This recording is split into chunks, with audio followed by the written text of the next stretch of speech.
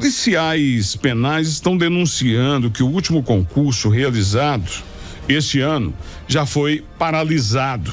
Eu queria que você trouxesse mais informações, porque é uma grande preocupação que nós temos em relação à reposição e concursos para novos, novos policiais penais, policiais militares, policiais civis, homens do corpo de bombeiros, porque as nossas forças de segurança, elas estão diminuindo. Há um claro dentro dessas forças. Verdade, Laudívio. Para saber mais a respeito dessa de denúncia, que impacta em cheio as penitenciárias de todo o estado, ao meu lado está aqui Jean Ottoni, presidente do Sindicato dos Policiais de Minas Gerais. Jean, conta pra gente, conta pro Patrulha da Cidade, pro Laudívio Carvalho, neste momento, com exclusividade, o que, que aconteceu.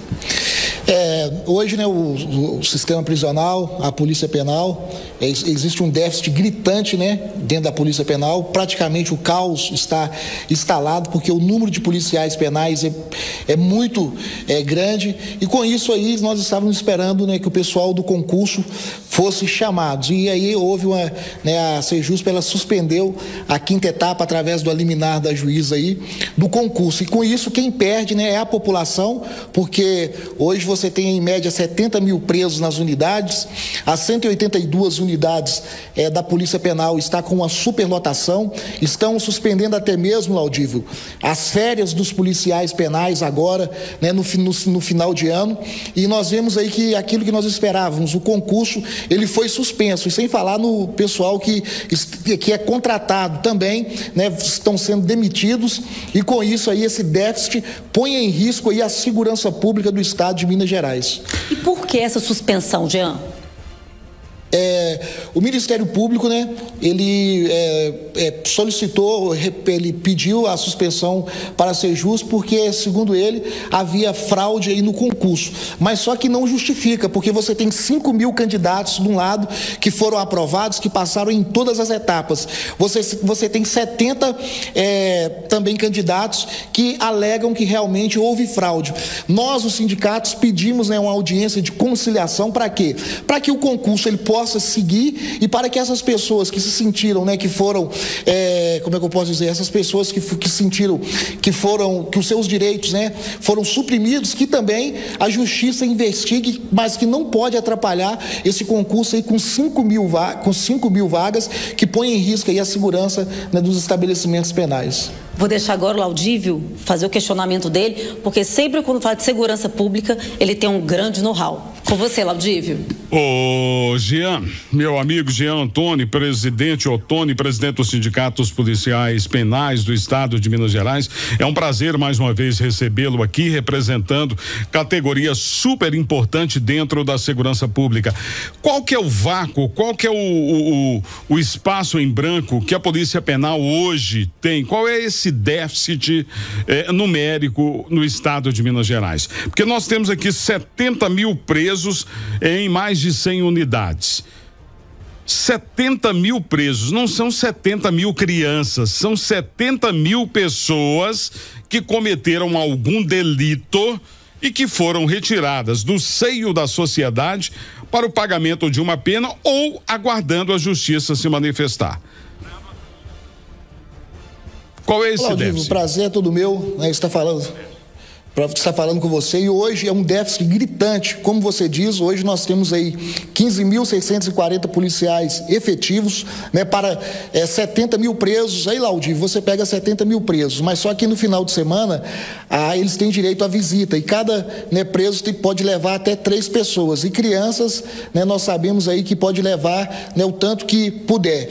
Então existe um déficit, uma lacuna gritante hoje que põe em risco aí a segurança pública. Nós rodamos o Estado Nós chegamos unidades aí em Nelson Hungria, unidade que foi projetada para 1.600 presos, tem 2.600 presos.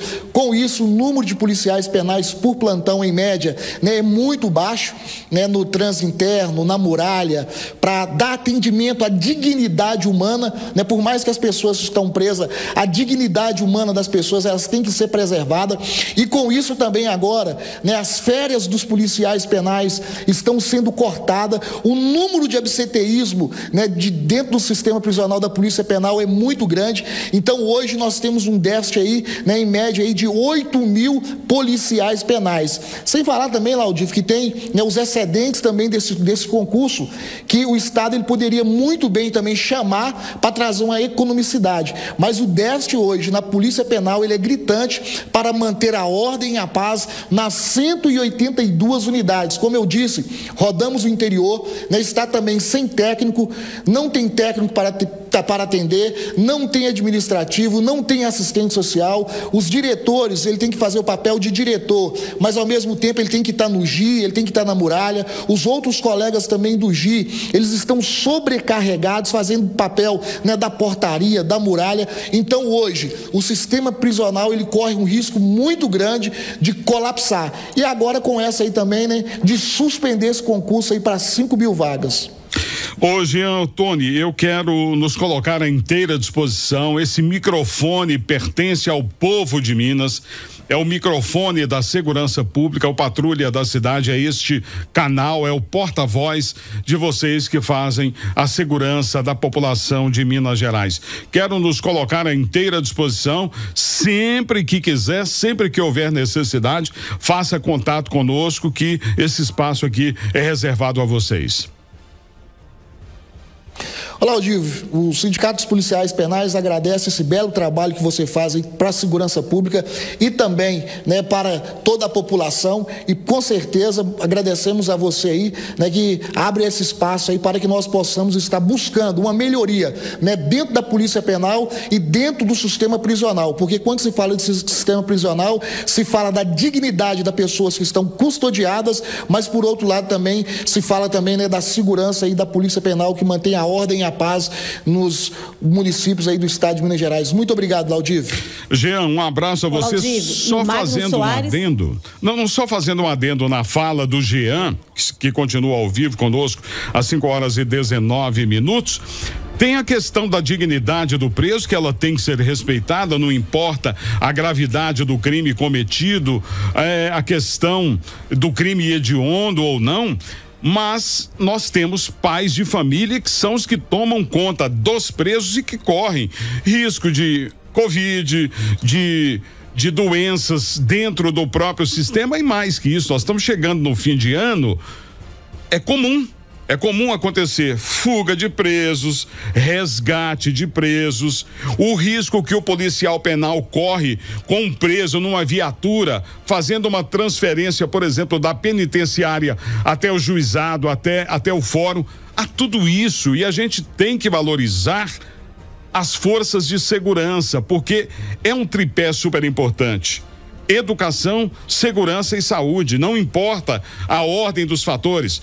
Pode ser saúde, segurança e educação, educa educação, segurança e saúde, não importa. O certo é que aqueles que fazem a segurança pública correm risco 24 horas. E muitas vezes saem da muralha do presídio, saem do interior do presídio, vão para casa desarmados, vão para casa de ônibus, porque nem todos têm condição de ter um bom carro ou um carrinho simples, daquele que você paga em 56 vezes, você paga a prestação. Nem sempre há essa possibilidade.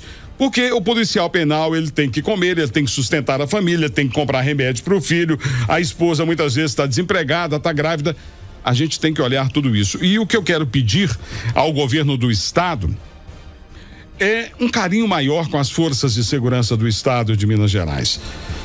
Aqui não vai uma questão política de cobrar do governador do estado pura e simplesmente uma cobrança. Não é uma questão de responsabilidade de todos nós com aqueles que têm responsabilidade com a sociedade. Então, o que nós pedimos, o Jean disse e foi muito claro nisso e eu concordo.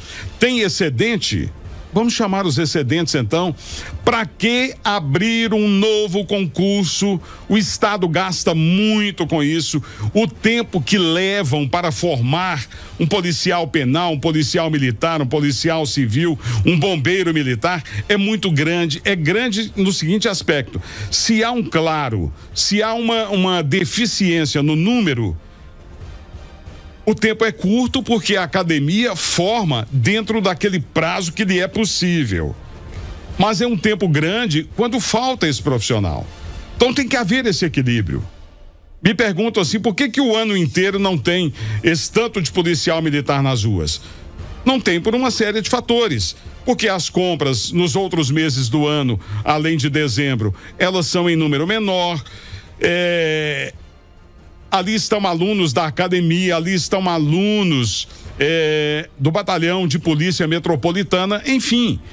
Há, uma, um, há um estudo em cima disso. E eu tenho certeza que vocês têm estudos em cima do déficit e em cima do número de prisioneiros. E tomar conta de preso não é cuidar de criança em berçário. É verdade, Laudívio. É, né, a Polícia Penal agora com a criação aí da emenda 111, né, é, se, profissionalizou, mas para manter a ordem e a paz, para evitar rebelião. Né, nos últimos anos aí não se tem rebelião no Estado, não tem motim no Estado, porque os policiais penais, né, através da profissionalização, estão mantendo a ordem e a paz. Porém, o outro lado, o Estado, ele deve ver também que o número de policiais penais que estão adoecendo é muito grande. Hoje nós temos aí 12 mil policiais, né, 13 mil policiais penais que estão aí é, com absenteísmo, é, doenças mentais, afastado por quê? Porque a sobrecarga que o Estado está jogando sobre né, os profissionais da Polícia Penal é muito grande. Então nós pedimos essa atenção do Estado, né, graças a Deus estamos conseguindo manter ainda, mas se o Estado não olhar para a Polícia Penal, para o sistema prisional com atenção, esse barril de pólvora também ele pode explodir, porque não tem homens, não tem policiais penais para estar aí mantendo aí a ordem e a paz nas unidades prisionais. Por isso, né, existe essa necessidade que os aprovados, que esse concurso ele não pode ser suspenso, porque senão o caos no sistema prisional, o estupim da bomba pode estourar. Jean, Tony, um grande abraço, meu, meu amigo. Eu quero agradecer muito a sua participação mais uma vez, nos colocando, repetidamente eu digo isso aqui, nos colocando à inteira disposição da Polícia Penal. Um grande abraço, meu amigo. Abraço, Aldir. Ô, Alice. E quando ah, a gente falava ah, aqui, hum. sim. Não, não, não, pode falar. E quando tô... a gente falava aqui, sim. o Magno Soares, que é diretor de comunicação, tá pedindo enlouquecidamente, vem cá, Magno, para falar com você um minutinho, rapidinho. Eu falei com ele, vamos rápido. Grande Fala Magno. aqui Vem cá, Magno. Oi, Laudívio. E aí, Magno? Tudo bom? Como é que estão as coisas? Boa tarde. Boa tarde. Tudo jóia, graças a Deus. Que bom, Hoje e é um prazer enorme. No sindicato, né? Sim. Obrigado, obrigado, igualmente. É, Laudívio, a gente está aqui é, pedindo encarecidamente que a justiça, né, ela tem essa sensibilidade, que não pare com esse concurso público, né, como o Jean falou, não vou repetir, é, o, o barril de pólvora está prestes a explodir, e no dia 12, né, a partir das 8 horas da manhã, em frente ao Tribunal de Justiça, na Rádio Gabaga, estaremos lá em um, em, em um ato para que as autoridades, para que a sociedade, para que a imprensa entenda os anseios e as demandas de mais de 5 mil homens e mulheres aprovados nesse concurso, nós estamos também com mais de 2 mil excedentes e a gente também repudia essa, essa, essa esse sistema de, de, de contratação da, da, da Sejusp, do DEPEN, da Secretaria, o PSS. Nós não somos contra aos profissionais, e sim a forma de contrato. O PSS é um, é um policial penal, é, vamos dizer assim, é, pela metade. Ele não pode pegar em armas, nós ficamos à noite sem a força armada desses homens e dessas mulheres, e, e isso um concurso travado né, por, por um liminar da justiça Justiça e que se há ilicitude, se há problemas nesse concurso público, que as pessoas que causaram esses problemas sejam punidas. Ô Magno, eu quero mais uma vez nos colocar à disposição, agradecer a vocês. O espaço está aberto e vamos lutar junto ao governo do estado. Vamos pedir ao governo, à Secretaria de Estado de Justiça, para que minimize esse problema, porque nós sabemos que ele é muito grave e esse barril de pólvora, conforme você e o Jean disseram, pode explodir a qualquer momento. Ô Magno, obrigado, meu amigo. Ronaldinho, eu agradeço, saudade do senhor, até dos meus WhatsApps e estou à disposição do senhor. Olha, um grande abraço, obrigado. Contem conosco aqui. Forte abraço, Ronaldinho. Um abraço. Ô, ô Alice, a Sejusp se manifestou? Sim. Por favor.